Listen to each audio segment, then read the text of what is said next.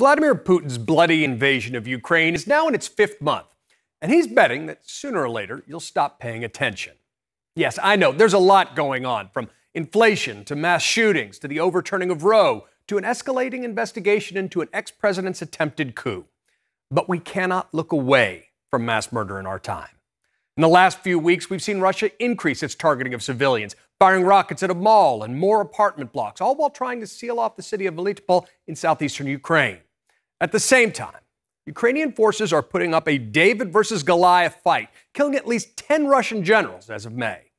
But beyond the battlefield, and its fundamental challenge to human rights and the rule of law, the downstream effects of this invasion are creating food shortages around the world, pressuring fuel prices, and even raising the specter of nuclear war. Now, the facts are there for all to see, but not inside Russia.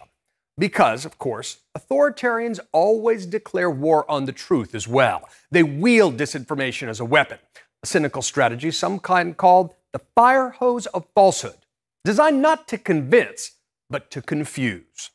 Now, one tactic is to flip the script using denial, deflection, and projection to blatantly lie and accuse your opponents of what you've been credibly accused of.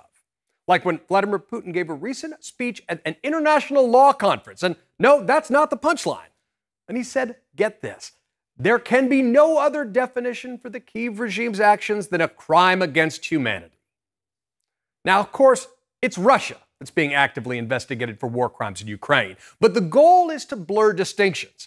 Apparatchiks will echo it for careerist reasons, and some blind followers will even actually believe it.